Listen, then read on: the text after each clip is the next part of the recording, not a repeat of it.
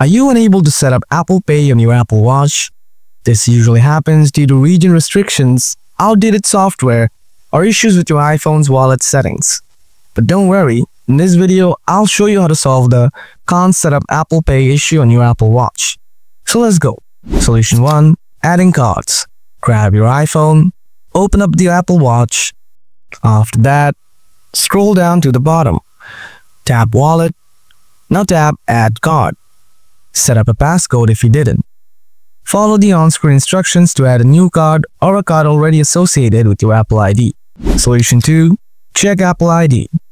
Grab your iPhone, open up the Watch app, now tap General, scroll down, tap the Apple account. Now check the Apple account, whether the same or not. If you see that there is a different Apple account, then you need to add the same Apple account here. Solution 3. Reset your Apple Watch. Open the watch home screen, tap on the Settings app, now scroll down and then tap General. Scroll down to the bottom, tap Reset, tap Erase All Content and Settings.